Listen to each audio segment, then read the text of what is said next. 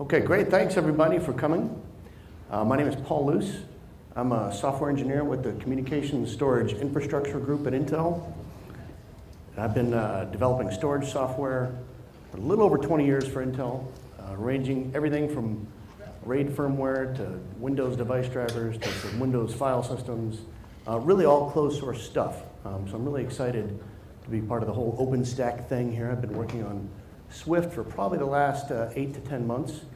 And uh, today, Tushar and I are going to give you a bit of an overview of what we've been working on in the community, along with uh, folks from SwiftStack and Box and Rackspace and Red Hat. So uh, I'll introduce Tushar now, and then we'll get started.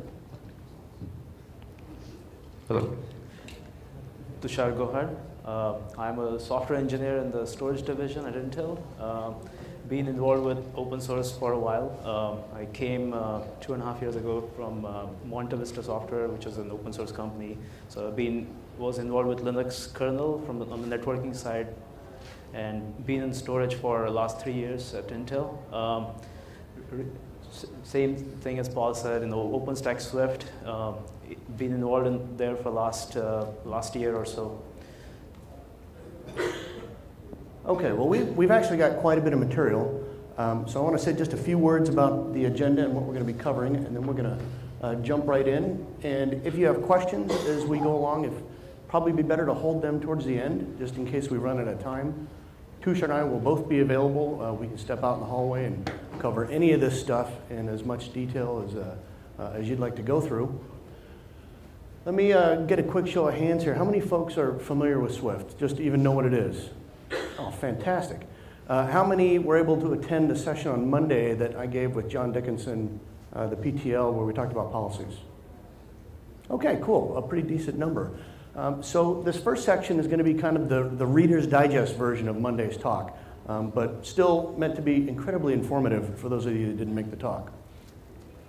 Second section, we're going to talk about uh, erasure codes. This is where Tushar is going to uh, jump in and give you a, an overview of what we've been doing in that area with the community.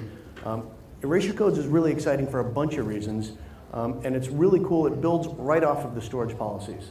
So if you got to attend the talk Monday or get a chance to review the materials, um, you'll see how it, it, just flows really well with uh, what the community is working on with these two projects. Then Tushar will talk about COSBench.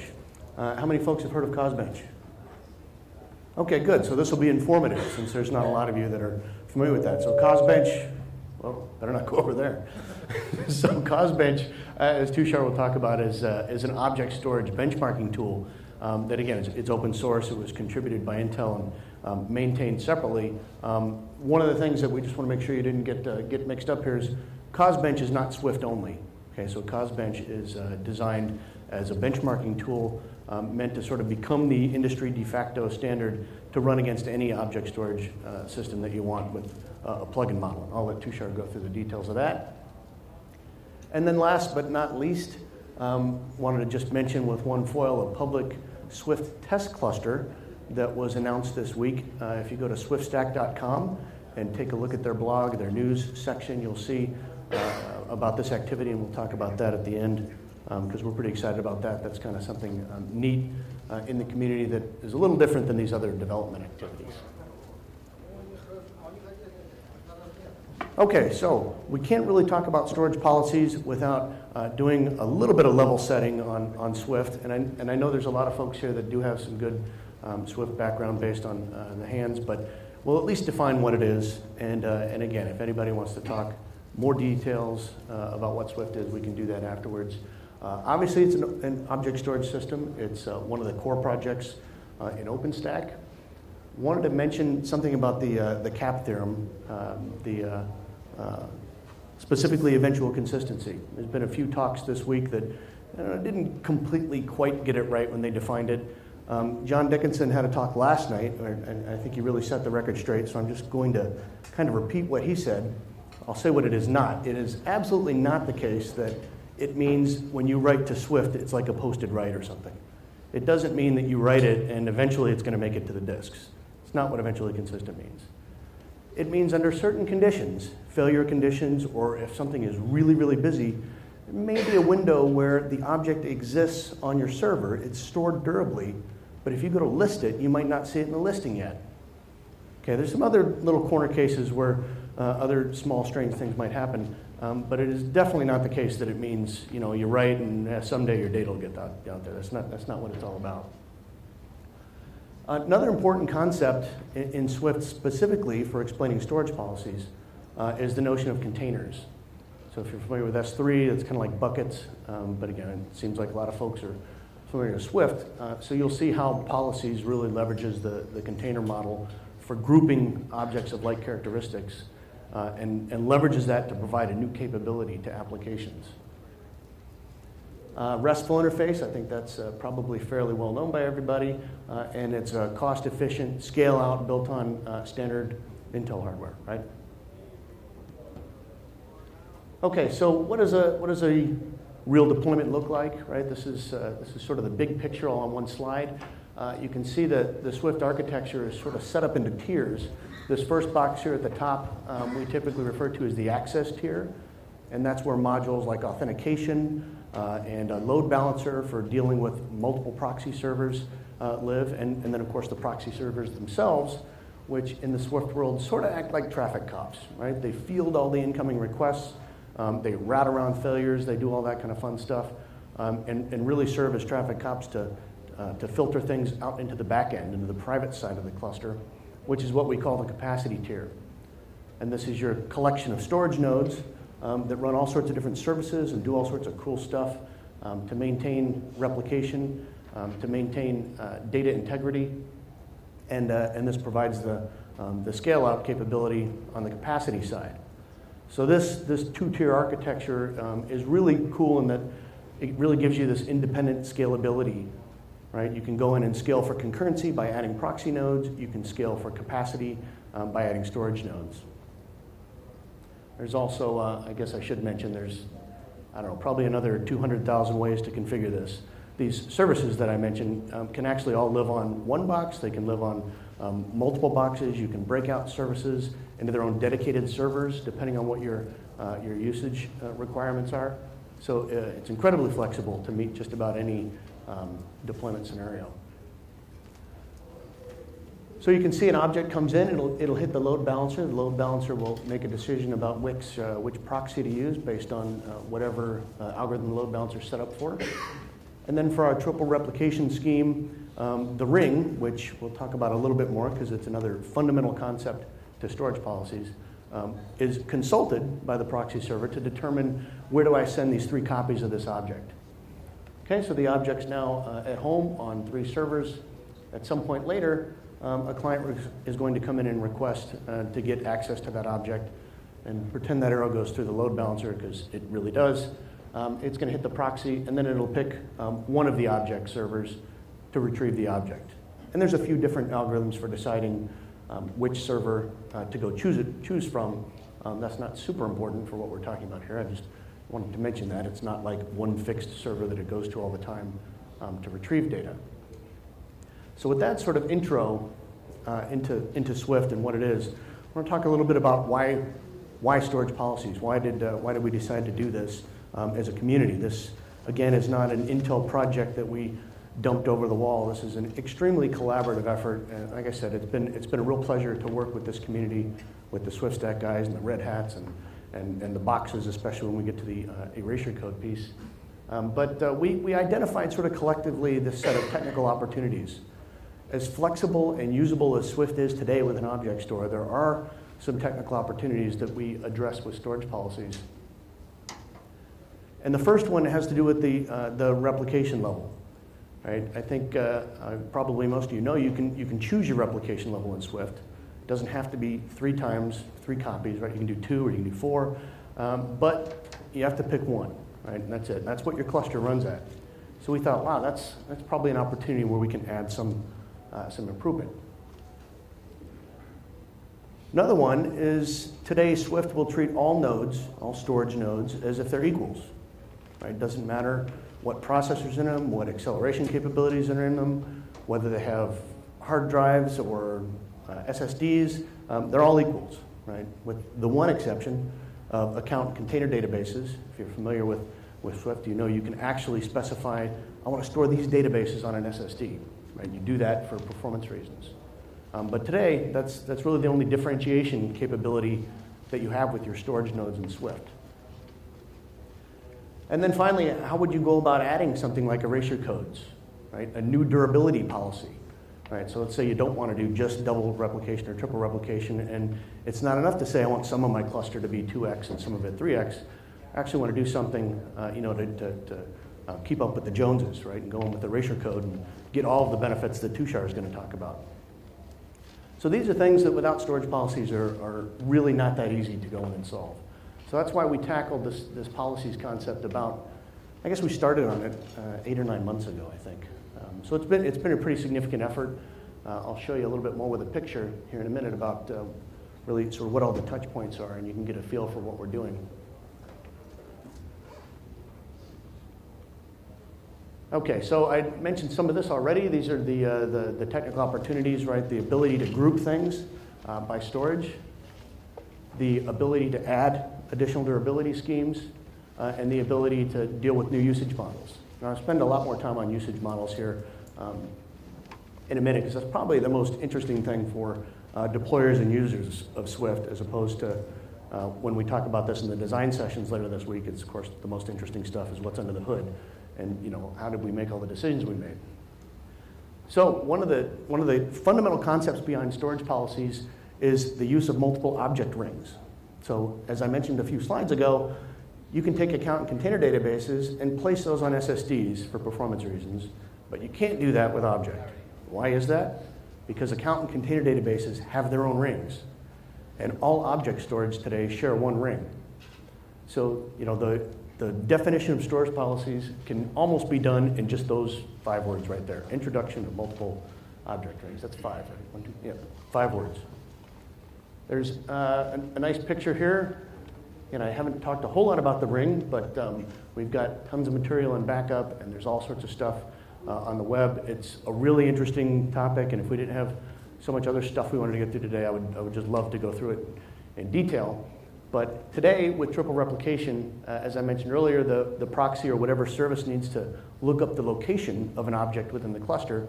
Triple replication, it would go out to the ring structure and it would go get um, three locations. For reduced replication, it would just simply go out and get two locations, right? It's just a separate, uh, a separate ring.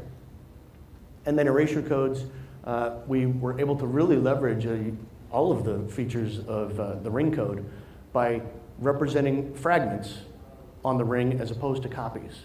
So we're going to do a lot more detail on that when, when Tushar goes through the erasure code section.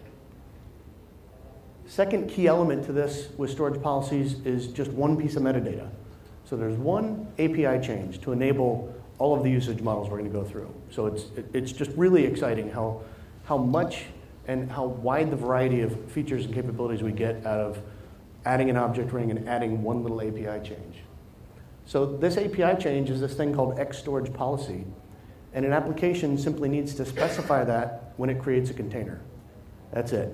You never do anything else, right? So the cloud administrator, the cluster administrator has to define the policies and of course set things up and get things configured, but then it just simply provides human readable policy names to the applications and the applications say, all right, if I want to have this data stored in triple replication, I'm going to give it the name triple and it'll be stored at triple replication when it's stored in a container that was created with that policy name.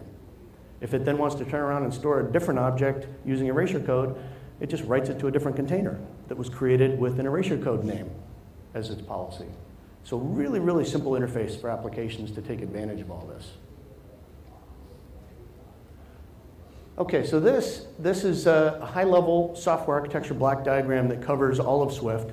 Um, and I, I, won't go through any painstaking detail here to uh, give everybody the lowdown on how Swift is built and what these interfaces look like. Really, the intent of this slide is to, is to show you what we had to go and, and, and muck with to get storage policies to work. Uh, it, it's a significant undertaking. It's taken a long time with a lot of people uh, and their hard work on it. In fact, if you made the Monday talk, right, the title of that talk actually came from John, our, our PTL, who called this the, the biggest thing to hit Swift since the project was open sourced. And that biggest refers to both its significance and its impact on the operation of Swift, um, and, and quite frankly, on the size, right? So this, uh, this patch set, it's a series of patch sets that we've been working on uh, off to the side. uh, I, I think we're really close to being done. Um, I've been saying that for weeks, but I'm going to say it again. We're really close to being done. Uh, I, I think at the end we'll be close to 5,000 lines of code uh, on this patch set, and Swift, including test code, total is around 60,000. Um, so it's a pretty significant um, chunk of code. And you can see here uh, on the proxy side, we're hitting three of the major modules. Um, and then down on the object server, um, you know, a significant number of services that run on the object server um, all need some sort of, you know, plumbing update or functional update uh, to uh, effectively utilize these policies and guarantee that all of the uh, different kind of weird conditions that you can get into with the introductions of policies uh, are handled appropriately. Okay, so let's look at a couple of usage models. Uh, these are probably pretty obvious the way I described them already, but you know, pictures are always nice to, to get a better understanding of what we're talking about. So uh, let's say you've got a container with a, a 3x policy in a cluster that's already set up. Like I said, today with Swift, if you wanted to change that to 2x, you could, but it would take effect across the entire cluster. With policies, you just simply create another container and you point the ring associated with that container to the devices that you want it to use, and now when you write to that container, you get double replication. You write to the 3x container, you get triple replication. So we're allowing you to effectively segment your cluster um, based on uh, whatever criteria you want to come up with. And this one shows a redundancy criteria. Here's another thing that right is totally different kind of usage model, right? We can now create a performance tier, just like you do with account and container databases. So it's not related to redundancy, but it's the same exact uh, set of code, you have a container with your HDD policy, which would be your, you know, what we're calling now the legacy ring with storage policies. You could go in and then create a, uh, a new container that points to SSDs, right? Maybe they're the same SSDs as your databases, maybe not, it's whatever you want to do. But now you've got a, a low latency tier that you access, your application accesses uh, via a container. Okay, here's another one that, again, is just totally different than the other two, but enabled by the same exact code base and the same exact philosophy. Um, with geotagging, and this is still sort of a work in progress, and uh, I'll explain why that is here in a second, but with, with geotagging, let's say you have one cluster, maybe it's a globally distributed cluster, maybe it's um, within one site, and you've got certain areas, physical areas, that you want to make sure stay isolated. Uh, it could be for regulatory reasons, it, it could be for whatever reasons.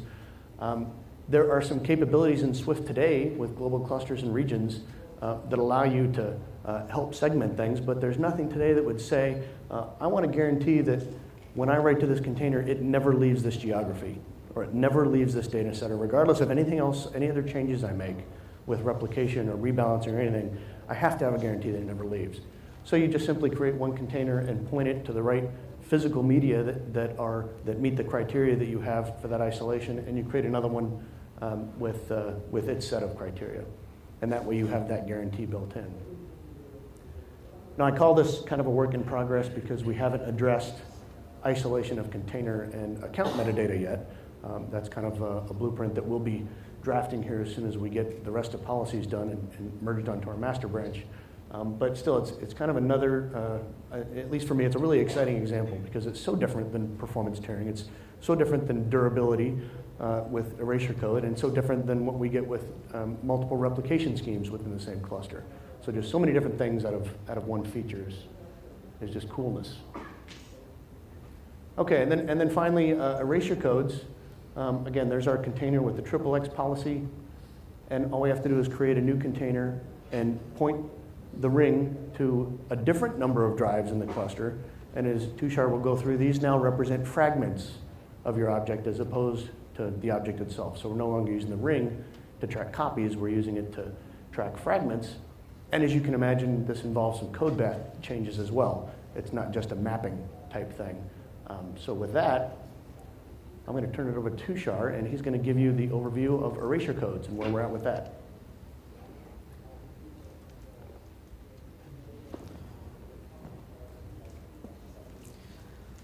Well, uh, continuing with usage models for storage policies, uh, here's the first significant uh, storage policy in Swift that we are working on as the storage policies code gets merged into Swift master. Uh, how many of you are familiar with erasure codes? All right, so 25%. So I'll, We'll go with, uh, in, into some details here. So let's see this, works. All right. I think I guess I'll probably just try it. Okay, so erasure coding is a, an alternate data durability scheme where an object is not replicated but split into, you know, in, in, using the standard, standard terminology, um, K data and M parity chunks. So essentially, you, you're getting, uh, as, they, as they call it, space optimal redundancy uh, and, and higher, availability because you, you're, you're taking your object, uh, putting it through a, a process called encode, which uh, applies some Galois field math uh, to, to the object, calculates uh, you know, additional fragments called parity fragments in addition to the, to the data chunks. And essentially, those chunks are distributed across your cluster. And by, by distributing the chunks across, across clusters, you can tolerate um, M node or cluster failures, essentially. So, so this, uh, this actually gives you higher availability than a, a, triple replication or in general a replication scheme. There are papers uh, you know, that, can, that can support that statement. Um, so, so in terms, so talking about space optimality, uh, if you actually uh, split your object into 10 chunks and added, let's say, four parity fragments as, uh, you know, for, for data protection, you, you essentially use 50% less space than you would have when, when you went, went for triple replication.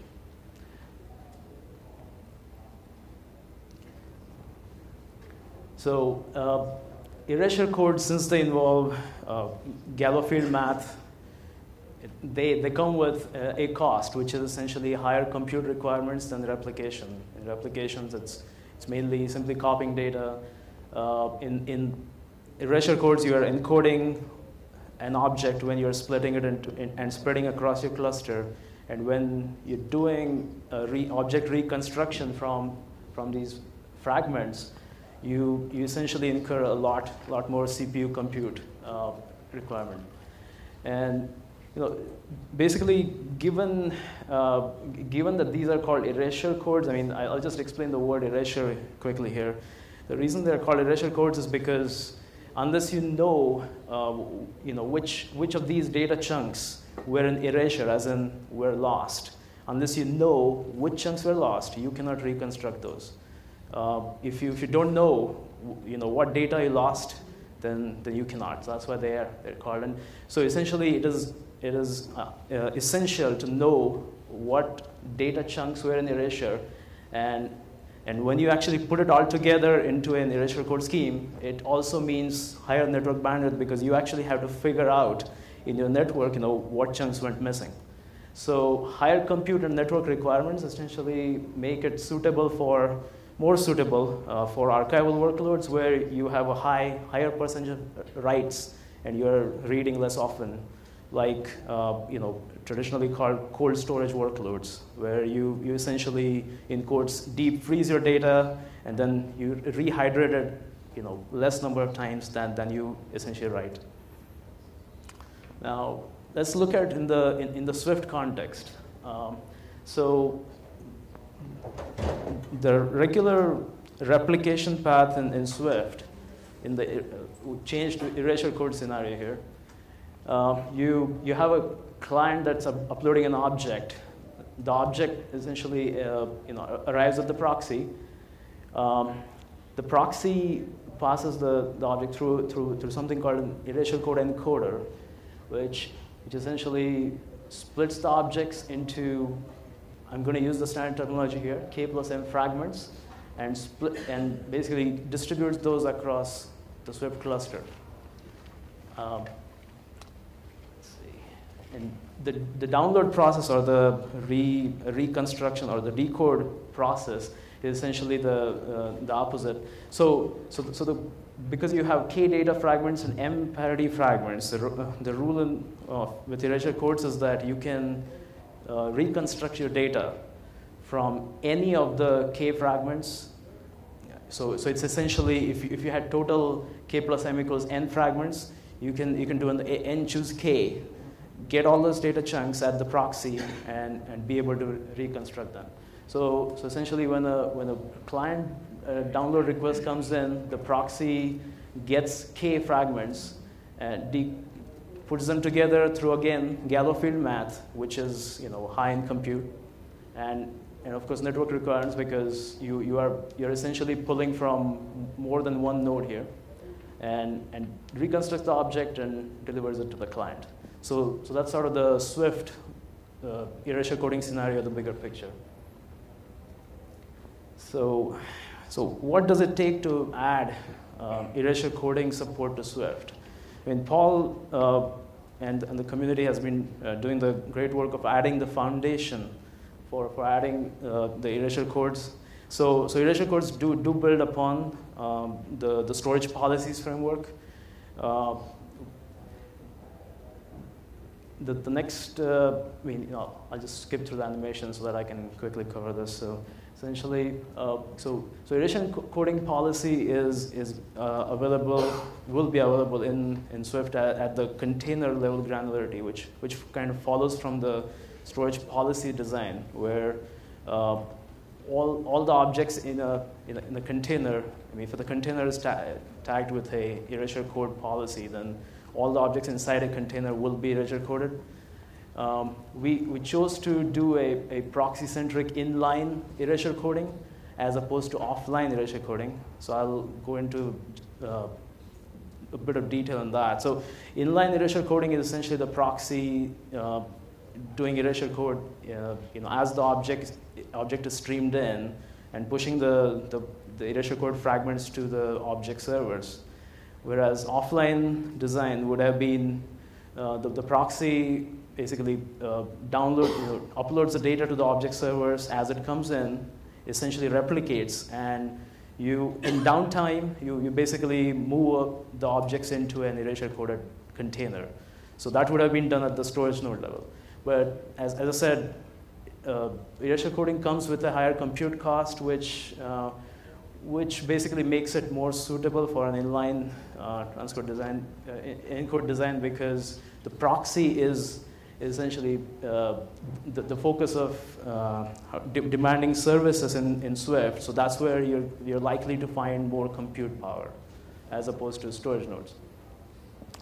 Um, leveraging the current architecture, um, so essentially uh, the repair is, is, is a big part of uh, you know, an important piece of the, the, this design, this scheme, where if you, if you have a disk failure, if you, if you have a node failure, if you have a cluster failure, if you, have, if you go, get into bit rot, where you, you are basically missing one fragment of an object, um, you, you know, the, the repair scheme uh, kind of get, gets, gets, gets pretty, pretty involved. So we, we basically uh, chose to uh, leverage the current uh, Swift auditor, uh, most of it, and, and come up with a with a, you know, change the re replicator to be the erasure coding reconstructor. So most of it was essentially leveraging the current architecture. I won't go into too much detail on that, but uh, the, you know, here, here's, here's sort of a, a, a, snapshot of what, what we had to change uh, to, to make Swift erasure coding aware.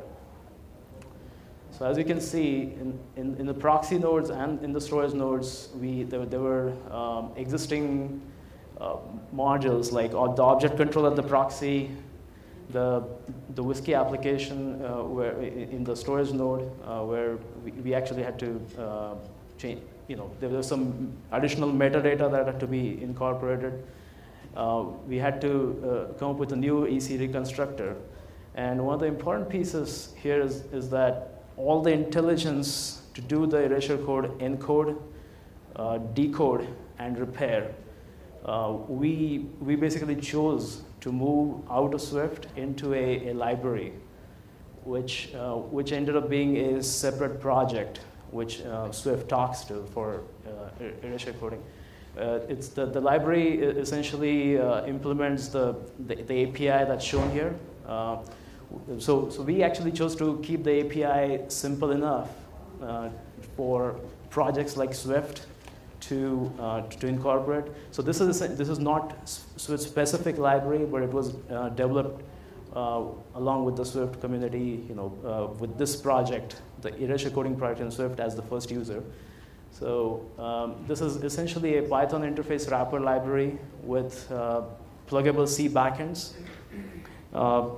The, the, the, the, primary reason uh, for creating this library, one, uh, one was being a favorable licensing model as opposed to uh, some other libraries that exist out there like ZFEC. Uh, also, this library is, was designed with, with, with performance in mind, and so we, we actually have, uh, it's essentially a convenience wrapper uh, that, that wraps the C erasure code backends or hides the details of C erasure code implementations from, from a Python user. Right? So in, um, in version 1.0 that should be coming out pretty soon here, we are, um, we are supporting JErasure, which is a uh, very popular erasure coding uh, backend, uh, a flat XOR backend that, that was recently presented at, at the FAST conferences, and also an Intel Intelligent Storage Acceleration Library uh, scheme, erasure coding scheme that I'll, I'll talk about in a minute here. The library is BSD licensed. It's, uh, it's hosted on Bitbucket, uh, so it's, this is another open source project. Um, it was jointly developed by uh, Box, uh, which is another storage company. Uh, th there are there's some erasure coding researchers working at the company that uh, we, we have we have basically their, their blessing for this library and also the Swift community. I'll introduce a a storage acceleration library uh, that, that we, uh, the storage division at, at, Intel develops. It's called the Intelligent Storage Acceleration Library, um, which basically provides primitives for accelerating storage functions like encryption, uh, compression, dedupe, uh, integrity checks, etc. So, so as you can see, uh, the, the, as, as of the, uh, version 2.10, the library basically supports the, these primitives essentially, uh, there is an op open source version out there. Um, so, so I should I should back up a little bit and, and talk about the library licensing again. So essentially, the, the library is is right now uh, available with a with an agreement uh, with with Intel. Uh, but there is an, there's an open source version out there which was which basically provides uh, just erasure code support today, uh, and it why is this library, uh, why does this exist? It's, it's, it was basically written to uh, parallelize, you know, uh, take advantage of the Intel SIMD primitives to parallelize the erasure coding operations. Um, and it's, it's shown to be order of magnitude faster than the normal tab table lookup methods. It supports uh, the Reed-Solomon, Vandermonde matrix, matrices, as well as Cauchy schemes. It, uh, so, so like, you know, there are several other uh, non-Reed-Solomon schemes that were designed so that you, you don't have to uh, essentially go out to, uh, go to your cluster and, and fetch, uh, you know, like basically look for the, the, as many missing fragments, but with the, with the acceleration provided by this library, um, you know, it, essentially th those, those methods are pretty much irrelevant. Uh, it's available on 01.org for download. It's BSD licensed. So, all right. So, so just kind of summarizing the the project uh, project status here. So, uh, PyEClib, um, which is the Python EC interface library, is upstream on Bitbucket and Py, PyPI. That's available for download today, or, and, and even it's, it's, it's at version 0.9, which is stable enough to use. Uh, storage policies is, uh, is in plan for including uh, inclusion in OpenStack Juno. And EC erasure coding, we are, we are actively working on the data path. There are design uh, sessions uh, this week at the Swift, Swift design track. So if you, if you are interested, you're welcome to join the, the session tomorrow at 5 p.m. Um, there, there's always the OpenStack Swift IRC, and we, we actually have a Trello uh, discussion board for uh, discussions on erasure code design. So you're welcome to contribute. And the blueprints, the several blueprints that, that are available for comments or um, you know contribution. And finally, Intel I ISA-L, if you're interested in the, in the primitives other than erasure code, uh, you're welcome to check out our storage page on intel.com. So with that, I'll um, changing gears here a little bit. Um, I'm going to talk about a, a, a benchmark tool um, that was introduced at, at the Portland Design Summit last year. It's called COSBench, um, stands for Cloud Object Store Benchmark Tool. Um, so th this was th this was basically brought in to to kind of address the gap in the object storage space where uh, where you actually have a single tool that addresses multiple uh, object store backends and also exposes uh, you know the, performance metrics that that Iometer word for for block storage. Iometer is, is pretty much considered as a standard uh, tool for block store. Uh, supports distributed client server model. Uh, it lets you lets you analyze performance scalability of a block storage system. Uh, so think about COSBench, uh, a, a, replacement for that in the object world. It is open source, it is Apache licensed. Uh, it is, COSBench is cross-platform. It uses the Apache OSGI framework, can run on um, pretty much all Windows or Unix platforms um, that support Java. It is, COSBench is distributed. Um, so Essentially, uh, there is a controller and driver model. Controller is essentially your test control interface. Um, control as in launch, manage, monitor workloads. Uh, drivers are essentially nothing but test generators. And, uh, and it's, it's, a scalable model where uh, you know, a single, single workload configuration can be distributed to multiple test generators, and you can add test generators as, as, you, as you will. Um, in terms of storage backend support, we support not just the OpenStack Swift object storage, but, but also some other commercial ones as well as open source ones like Ceph. Uh, we did recently introduce CDMI adapt backend adapters for COSBench.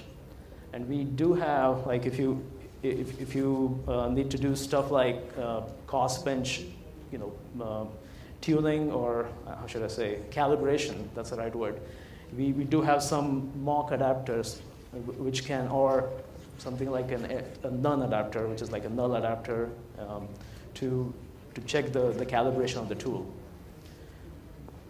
So I'll, I'll, talk about the flexible workload definition uh, and the performance monitoring aspects in the next couple of slides. So COSBench uh, supports a, I mean, you know, the the configuration format for COSBench uh, is essentially XML.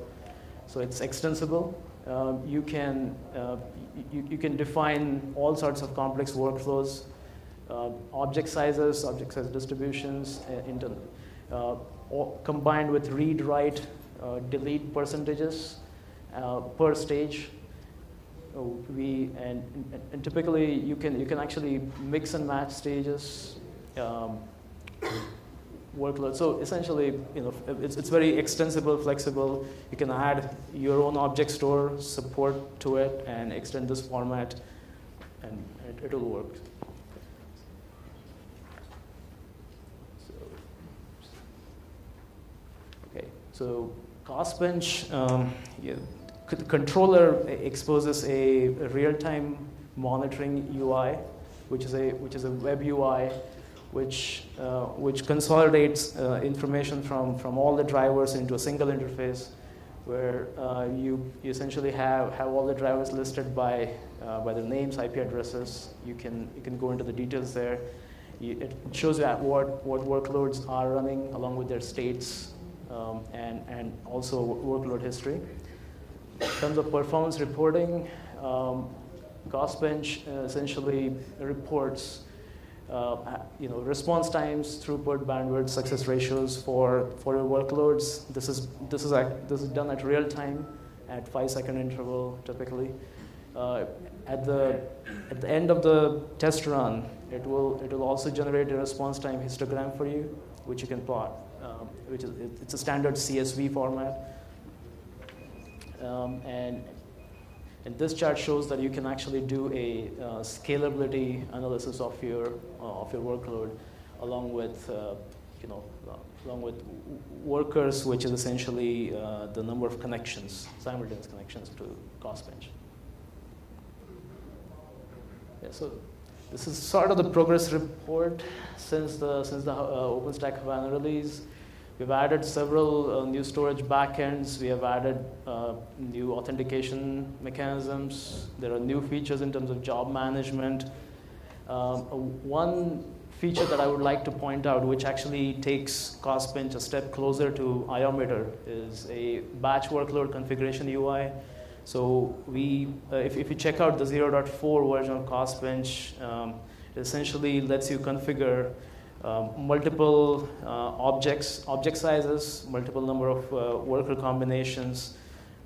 Basically, you know, a whole whole uh, combination, uh, you know, I should say, a number of combinations of workflows using a single screen, essentially. Um, on, on the roadmap for, uh, for this year is essentially uh, multi-part uploads for objects. We, we do, uh, we also want to turn it into a profiling tool, and there's also Google and Azure storage support coming up. This slide um, shows you, uh, you know, the, the current industry users uh, for COSBench. And the top activity is actually, top chart is probably more important from an open source point of view. Uh, COSBench is uh, hosted on GitHub. Uh, and this, this chart shows the activity. I mean, I actually captured this uh, towards the end of April. We actually had um, in two weeks, we, we had 150 unique visitors and 15, 20 views. So this is an active project. Uh, you're, welcome to contribute, rather encouraged to contribute. So here's some more information. That's the, uh, it's, it's is hosted under under the Intel Cloud account on GitHub. And we do have a mailing list where, where you can post questions. It is actively monitored. And we do have within storage division and other Intel divisions supporting COSBench. So with that, I'll, I'll turn it back to Paul, who's going to introduce you to the, uh, to the Swift test cluster we recently deployed. Cool, thanks, Tushar. Um, what, one other thing about uh, erasure code and the status that uh, uh, we didn't mention, and also I just want to make super clear. We mentioned policies is just about done. That will be in a Swift release sometime over the summer, um, and then you know overlap with, with Juno, of course. Erasure code, as Tushar mentioned, is still in the design phase. We do have some code, but there's still a lot of opportunity for contributors to come in um, to our design session tomorrow. And we also uh, are sponsoring a hackathon um, a week from next week, two weeks from now. I don't know, second, second of June uh, in Colorado. And we've got, um, I think right now, 28 uh, uh, core and active Swift community developers that are coming together for four days. Um, we're going to be working on more than just erasure code, but um, there's still a, a, couple of empty slots there, uh, and we expect to make a lot of progress on the design uh, and come out of there with some real action items to continue to um, build up our erasure code branch. Okay, and then last but not least, uh, as I mentioned at the, uh, at the top of the hour here, uh, you can go to the SwiftStack's website and read the full press release, but we did want to mention it here. Uh, it is relevant to some of our contributions to object storage. We've got uh, a public test cluster that Swift is, uh, owns and operates, and, and they're uh, bringing up there in San Francisco. Uh, it's using uh, Intel processors, some of our latest processors, uh, built for object storage, the 2750, I only know the code names, not used part numbers. but you can see it's a pretty small cluster. This is kind of just to test the waters and to really augment the current VM-based testing. and we expect uh, as this becomes more successful, this will grow over time, and we'll really begin to see uh, some noticeable improvement in, uh, in quality and catching issues that we can only find on real hardware versus VMs. So yeah, I encourage you to go check out that blog. It gives you a little bit more information than just what it looks like. And that's what we got for you. Uh, any questions? Yes?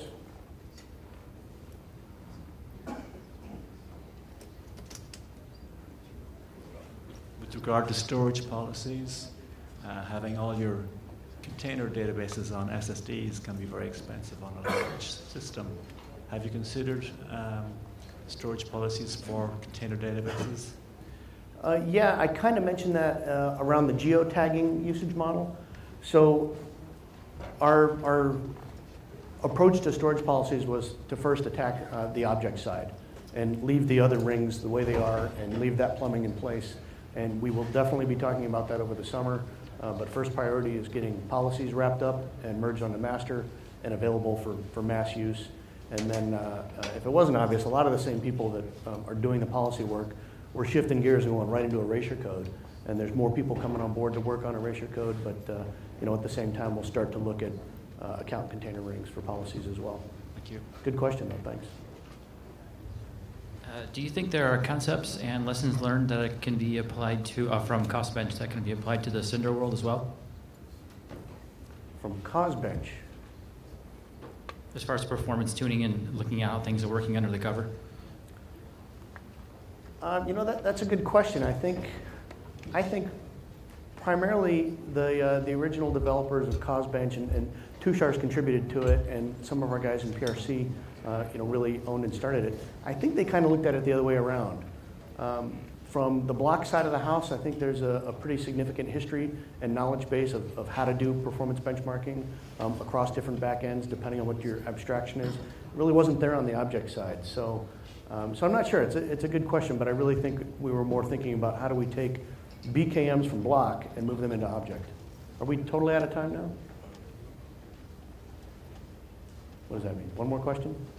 Two more questions? We're out of time. Okay, so I guess we're, we're out of time. Um, but um, yeah, we'll, we'll hang out over here and then we can step outside and answer any other questions.